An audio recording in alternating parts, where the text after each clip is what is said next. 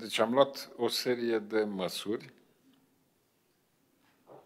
pentru a susține economia, pentru a susține angajații și companiile și aș vrea să recapitulez aceste măsuri uh, și să-mi spuneți în ce stadiu de implementare suntem cu aceste măsuri. Avem, pe de o parte, sprijinul pentru întreprinderile mici și mijlocii, prin uh, garantarea creditelor pentru capital de lucru și pentru capital de investiții și subvenționarea dobânzii. Când uh, devine operațional uh, acest instrument? Domnul premier, primele solicitări pot să se facă, să se înregistreze pe 17 aprilie, vineri. Deci începând de vineri este funcțional tot sistemul. Practic aveți uh, înțelegerile cu băncile Corect. făcute? Corect, și băncile Procedurile la fondul de garantare sunt uh, Totul este aprobat, stabilite? aprobat de Comisia Europeană, este procedură de ajutor de stat aprobată de Deci vreau să Comisia monitorizați și mă interesează foarte mult uh, ritmul de soluționare a cererilor. Vom vedea, după o săptămână, vă voi face un raport să vedem cât de rapid au fost soluționate, dar vă spun că interesul este foarte mare.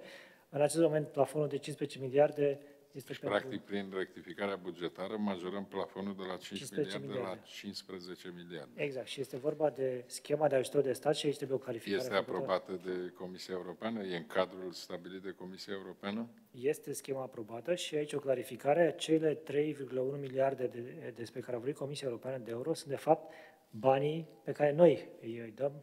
Comisia Europeană a aprobat doar schema uh, noastră. Deci este vorba de Uh, cele 15 miliarde de lei, uh, echivalentul la 3,1 miliarde de euro și uh, în acest moment băncile au cerut solicitări de plafoane mai mari de 15 miliarde, deci interesul este mult mai mare decât ce a prevăzut noi, dar suntem flexibili dacă în momentul în care se ajunge la acest plafon, vedem cum suplimentăm. Aici va trebui să pregătim, mi-a dat o veste bună domnul ministru Boloș, în negocierile cu Comisia Europeană vom putea disponibiliza 750 de milioane de euro sprijin pentru întreprinderile mici și mijlocii. Perfect. Și aici va trebui să pregătim foarte bine instrumentele ca să fie complementar uh, măsurilor pe care deja le-am adoptat pentru capitalul de lucru și capitalul de investiții, să găsim cele mai bune instrumente de susținere a IMM-urilor. Uh, a doua Măsura a fost uh, măsura de suspendare a plății ratelor. Aici o să vă solicit, uh, domnul ministru, să aveți un dialog permanent cu băncile, să avem o monitorizare împreună cu Banca Națională a României, cu care va trebui să fim extrem de apropiați în colaborare, astfel încât să ne asigurăm că toate băncile aplică prevederile legii și că decid în condițiile stabilite de lege măsurile pentru beneficiarii care sunt stabiliți. Este adevărat, domnul premier.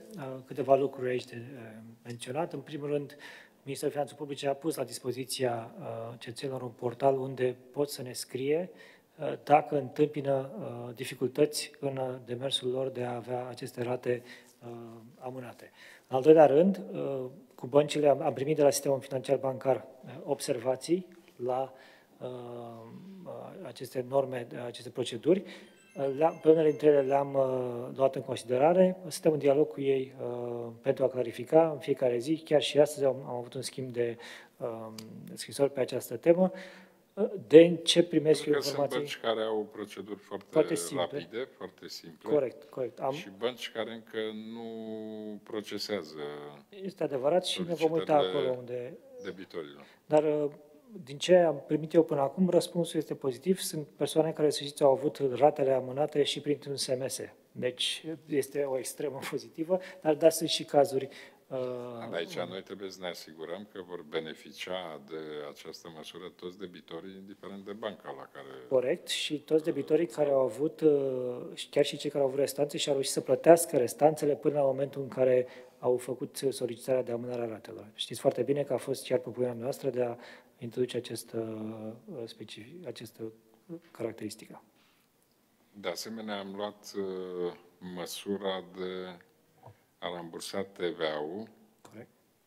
pe perioada stării de urgență înainte de efectuarea controalelor Ați reușit am rambursarea TVA-ului? Corect, da, am început uh, și vreau, sper să anunțăm mâine, cred, vom anunța că am ajuns cu rambursarea TVA la 0 zile. Este ceva ce nu s-a mai întâmplat, uh, eu nu știu, în istoria recentă. Dacă ajungeți la această situație, chiar e o situație Dar, la care cred că n-au visat nici uh, companiile. Aceasta Bun, este acum, informația pe care am primit-o. Asta în starea de urgență, e nevoie de, practic, asigurarea capitalului de lucru, companiile ca să poată să lucreze Uh, au nevoie de aceste resurse financiare, după care, evident, revenim la sistemul normal, dar fără să mai acumulăm întârziere. Asta este Corect. important, să facem plățile cu regularitate, astfel încât companiile să aibă planul de afaceri, garanția că uh, obțin banii cuveniți prin rambursările de TVA. În paralel, și aici va, va conta în perioada următoare, în paralel continuăm informatizarea NAF și acest, uh, suntem uh, în teste cu softul pentru a lega casele de marcat de uh, ANAF. Aici această procedură de returnare a TVA-ului va fi redusă și până la 1 octombrie sper să avem și sistemul electronic de facturare în România pus la punct, ceea ce iarăși este un... Ați văzut că Italia a aplicat sistemul este un sistem de înregistrare similar. electronică a facturilor și au înregistrat o creștere spectaculoasă a încasărilor Este un sistem îmbunătățit. Iar noi aici avem o resursă importantă pentru că m-am uitat la nivelul Uniunii Europene, avem cea mai mică rată de colectare a TVA-ului. Corect. Or, dacă și reușim implementarea sistemului ăsta, practic putem să știm practic uh, orice informație legată și să putem să asigurăm uh, respectarea legii. Este un sistem, uh, ceea ce vom folosi în România este exact inspirat din sistemul italian, modificat, bineînțeles, îmbunătățit pentru că vine la câțiva ani după, dar este exact acel model și chiar și cel cu case de marcat, veți vedea, lucrătorii ANAF vor putea comunica prin SMS cu casele de marcat. Va fi un, un salt important în modul în care se lucrează cu agenții economici în România. Uh, și la, te, la TVA uh, uh, vom returna, am vă spus, sper să ajungem la 0 zile, dar încă un lucru important, apelul nostru către companii, acele companii care puteau să-și facă, să plătească impozitele și au amânat pe o perioadă, au început să plătească. Au ascultat apelul și... Da, v-aș ruga, domnul ministru, să mai dăm mesaje destul de clare. Noi am mărit termenul până la care cetățenii pot să-și plătească taxele și impozitele locale, locale corect. Beneficiind de bonificația fiscală. Asta nu înseamnă să nu-și plătească, că mi s-au plâns, știți foarte bine că am avut discuții cu locale, da. reprezentanții asociațiilor uh, de la nivel de comune, orașe și municipii, că lumea a înțeles că uh, nu trebuie nu să plătească exact. impozitul. Ori ei pot să plătească impozitul, beneficiază. Noi am luat această decizie ca să nu fie cozi exact. la termenele limită să împiedicăm răspândirea virusului. Dar aici trebuie să le dăm mesaj că pot să-și plătească impozitele și taxele locale, să nu aștepte până la termenul limită, pentru că după aia iar o să creeze cozi și Correct. nervi și așteptare. Aici taxele trebuie plătite că beneficiază de bonificațiile fiscale. Am mai avut discuții, domnul ministru, legate de dificultatea de depunere a bilanțurilor care trebuie adoptate în adunările generale ale acționarilor, atât cu companiile, cât și cu organizațiile neguvernamentale, în care și la organizațiile neguvernamentale uh, este foarte greu să facă adunări generale și aici va trebui să veniți cu o soluție. Am prelungit uh, termenul, uh, trebuie să publice ordonanța de urgență, e prelungit termenul până în iulie. La Ministerul Muncii, doamnă ministru Alexandru. Deci, practic, noi am luat decizia de a susține angajații și angajatorii, Implicit și angajatorii. Aproape în egală măsură, plus uh, persoanele fizice autorizate, profesioniști în sensul codului civil uh, și celelalte categorii. Aici aș vrea să știu exact cum stăm cu pregătirea plăților, cu procesarea cererilor, uh, ca să aibă oamenii un orizont clar de așteptare când vor beneficia de această facilitate, de suma Uh, șomajul din uh, șomajul tehnic. O O primă parte din cei care ne-au adresat uh, solicitări au și primit bani în cont, atât uh, beneficiarii sumelor uh, gestionate de agențiile județene pentru plăți și inspecție socială, cât și cei care au depus cererile la AGOFM-uri. Solicitări la nivelul zilei de astăzi pe tot cuprinsul țării la toate agențiile județene de ocupare a forței de muncă sunt puțin peste 550.000, practic 562.000 Uh, vă spuneam primele plăți salariați. de angajați. De salariați. salariați. E vorba despre cererile depuse într-adevăr de companii pentru salariații cărora le-au suspendat temporar contractele de muncă, adică i-au înscris în șomaj tehnic, așa cum este cunoscut în limbaj popular, suspendarea temporară a contractului de muncă. Solicitările care se depun toate prin mijloace electronice sunt depuse de angajator pentru plata aferentă șomajului tehnic al angajaților acestora. Bun, și aici oamenii trebuie să se aștepte. În cât timp avem capacitatea de a face plățile?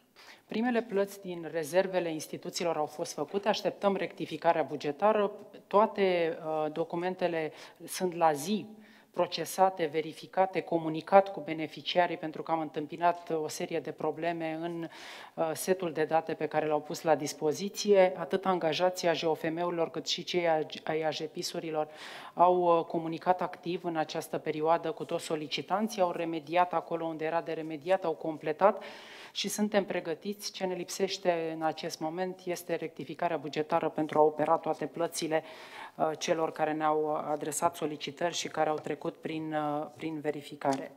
La agențiile județene pentru plăți și inspecție socială sunt un total de 74.000 de solicitări. E vorba despre persoane fizice autorizate, întreprinderi familiale, întreprinderi individuale, alți profesioniști în sensul codului civil. Uh, și aici, din rezervele AJPIS-urilor și cu o muncă titanică, pentru că este o activitate cu totul nouă pentru colegii din, uh, și pentru cei de la AJOFM, dar mai cu seamă pentru cei de la AJPIS-uri, și cu o comunicare asiduă cu beneficiarii, uh, s-au făcut deja primele plăți, Documentele sunt procesate, așteptăm rectificarea pentru a putea face uh, un volum consistent, pentru că ele sunt pregătite, toate actele sunt pregătite pentru a da drumul la plățile suplimentare. Uh, vreau să subliniez faptul că au fost o serie de probleme în uh, documentele depuse. Sunt probleme care țin de Neînregistrarea anterioară a suspendării temporare a contractului în revisal sunt probleme care vizează un calcul uh, diferit față de ceea ce ordonanța prevedea pentru acordarea șomajului în sensul de perioada reglementată de decretul uh, domnului președinte. Calculele prezentate excedau perioada acoperită de decret. Toate aceste situații au fost discutate cu solicitanții. Vă spuneam că s-a comunicat intens cu aceștia.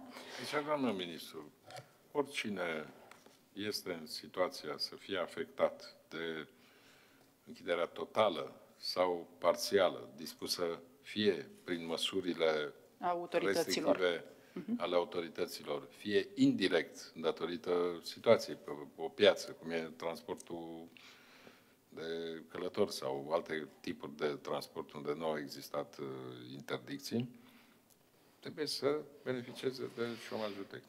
Și aici, dacă mai e nevoie să facem niște clarificări în reglementare, oricând putem face Vă voi propune, dacă veți fi de acord, să completăm uh, lista beneficiarilor cu alte categorii despre care avem informații că sunt afectate, respectiv să prelungim termenul până la care pot depune solicitările, noile categorii pe care vi le voi propune.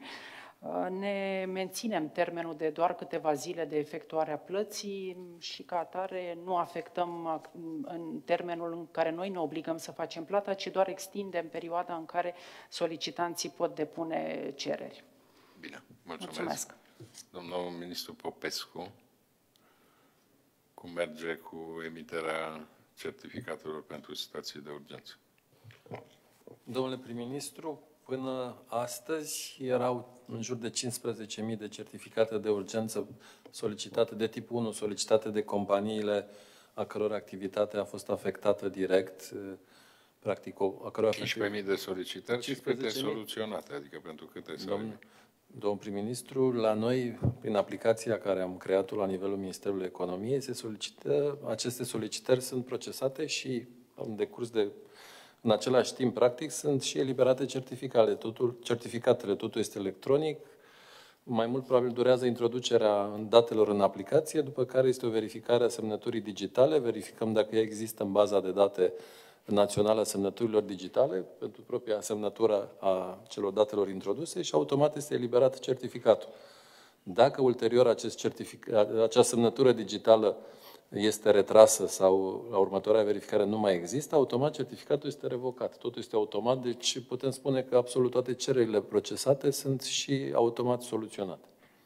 Și 5.000 de, de, în jur de 5.000 de cereri de, de soluționate de certificate de tip 2 pentru companiile a căror activitate a fost uh, afectată, în sensul că veniturile sau încasările au fost diminuate cu minim 25%. Deci, practic, în total, în jur de 20.000 de companii au solicitat până acum. Și au și obținut certificate. Și au și obținut certificatele, da. Mă uimiți, domnul ministru. Vă mulțumesc, domnul ministru. Asta înseamnă digitalizarea și trebuie să o generalizăm. Vă pot spune că lucrăm la o nouă informație, o nouă aplicație informatică care să rezolve două lucruri. Odată să înregistrăm toți producătorii de materiale de dispozitive sanitare în uh, aplicația Ministerului Economiei și a doua aplicație în același sistem să înregistrăm absolut toți agenții economici din zona turismului și special agențiile de turism să ne introducă în sistem avansurile care le-au încasat de la clienți și plățile care le-au făcut corespunzătoare avansurilor către partenerii externi pentru pachetele de vacanță pe care le-au uh, le-au încasat în avans. Le-au Asta și apropo de unii cu gura mare care încearcă să pună pe spatele crizei uh, niște chestiuni uh, care le aveau de fapt din trecut. Nu? Da, noi avem o centralizare, ei sunt obligați, toate agențiile sunt obligați să raporteze la nivelul fostului Minister al Turismului, dar vrem să ne asigurăm că și acele raportări care au fost făcute și din care rezultă practic niște solduri neachitate din cursul pachetelor de vacanță din anul 2019 sunt cu adevărat reale și vrem să le mai certifice încă o dată. Mulțumesc mult, domnul ministru. Cam asta era. Mai aveam o singură chestiune, domnul ministru al agriculturii, sunteți, da? E evident că ne confruntăm cu o secetă care afectează grav uh, culturile și aici vreau să știu dacă v-ați înțeles cu domnul ministru Vela și dacă ați stabilit uh, procedura și modalitățile prin care se pot acorda despăgubiri fermierilor uh, ale căror suprafețe sunt calamitate ca urmare a secetei. Da, din păcate, în Moldova, în Dobrogea, deficitul acumulat în sol este semnificativ și de lungă durată. De asemenea, ne confruntăm cu o secetă pedologică puternică și extremă. Astăzi am uh, semnat împreună cu domnul Vela, regulamentul privind gestionarea situațiilor de urgență generate de fenomene meteorologice extreme, având ca efect seceta pedologică. Pentru seceta hidrologică era legislație. Iar începând de mâine, la ordinul prefecților, echipele, comitetele locale și comitetele județene pentru situații de urgență, acolo unde sunt solicitate de către fermieri, se vor prezenta pentru a consemna care este dimensiunea pagubelor și apoi vom evalua și uh, dimensiunea despăgubilor pe care va trebui să le oferim. Vreau să subliniez că de 10 ani fermierii nu au mai fost despăgubiți pentru pagubele produse de către secetă. Aici să colaborați cu domnul ministru Bolos să identificăm uh, dacă există posibilitatea ca o parte din uh, aceste plăți care le facem pentru cei afectați de secetă pot să fie decontate de la nivel european. De asemenea, nu uitați că am luat o măsură de interzicere a exporturilor de cereale. Sigur că s-au mai introdus și altele. Astea trebuie corectate rapid iar uh, în ceea ce privește grâu și porumbul, trebuie realizate achizițiile de urgență la rezerva de stat. Aici am vorbit cu domnul ministru al finanțelor, o să putem aloca resursele financiare din fondul de rezervă. Pe de altă parte, aici, dumneavoastră, împreună cu domnul ministru Vela și cu administrația rezervelor de stat, va trebui de urgență să identificați cantitățile necesare pentru a asigura securitatea alimentară și să facem uh, achiziția cât mai rapid din punct de vedere procedural. Pentru că măsura interdicției la export nu poate fi decât o măsură temporară, iar motivația acestei măsuri ține de asigurarea securității alimentare a României. Nu putem lipsi românii de pâinea de pe masă. Numai pentru că e o conjunctură de piață care îi stimulează pe mulți să exporte. Sigur, se vor relua exporturile, dar întâi să ne asigurăm că avem în rezervele de stat cantitățile necesare, iar aici va trebui să ne mișcăm foarte repede. Da. Domnul ministru Tătaru, cum stăm cu capacitatea de testare? Că văd că în continuare se perorează uh, de tot felul de oameni politici care habar n-au despre uh, ceea ce înseamnă testarea, tot felul de enormități. Da, în acest moment, conform Organizației Mondiale a Sănătății, se testează cu tehnica moleculară de identificare a RNA viral. Avem în acest moment o capacitate de testare pe aparate de 6.000 de teste pe zi, în 57 de puncte de testare. Efectuăm ultima Sunt zi. operaționalizate toate PCR Operaționalizate din... sau în uh, curs de operaționalizare. De, din acest uh, motiv facem uh, în jur de 4500-4700 de testări pe zi, se lucrează pe aceste aparate.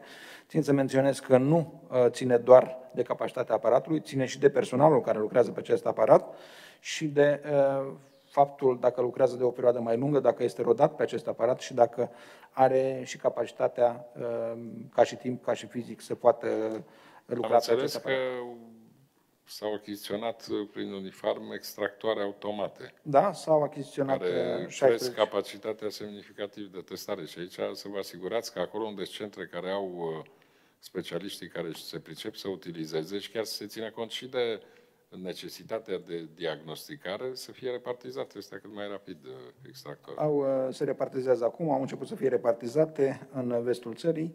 Avem centre care au o capacitate mai mare și am dirijat către acele centre și teste recoltate, de exemplu, cum ar fi în Deva sau cum ar fi în Suceava. Și aici mai e o problemă, că m-am uitat. În timp ce unele centre sunt supra-solicitate și din cauza trimiterii de probe prelevate către teste, uneori au un timp de așteptare, să spun, mai mare de 24 de ore, sunt alte centre de testare care au PCR-uri pe care aproape că nu le folosesc.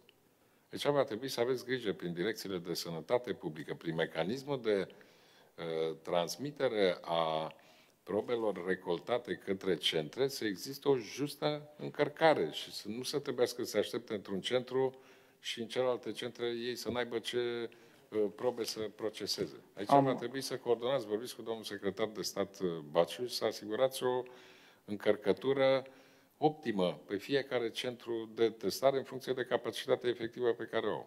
Am discutat și cu domnul secretar de stat Baciu. În zilele următoare vom face o repartiție de la nivel uh, central sau a reprezentanților zonali prin DSP-uri ca aceste uh, recoltări sau teste care s-au recoltat să meargă către zonele de testare care au și capacitatea și să nu se mai aștepte decât cel mult 24 de ore.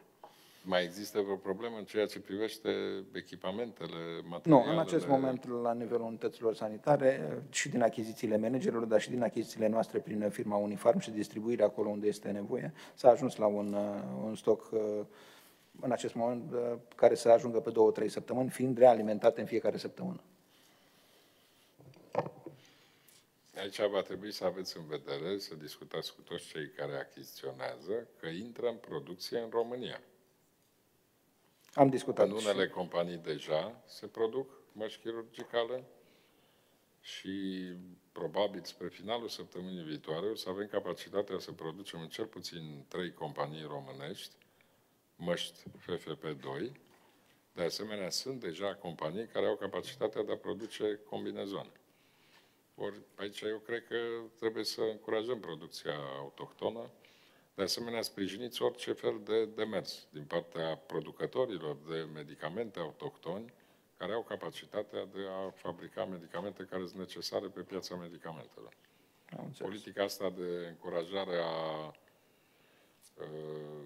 să zic, intrărilor pe piață din exterior în dauna producătorilor din România trebuie să înceteze.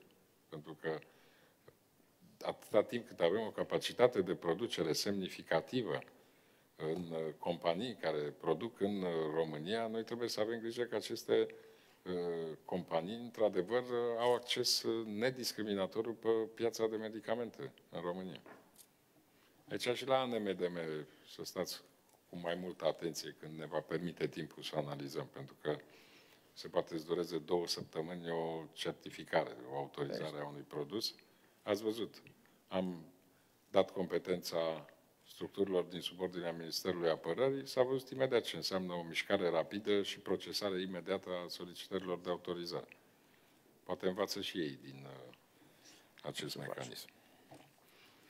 Bine.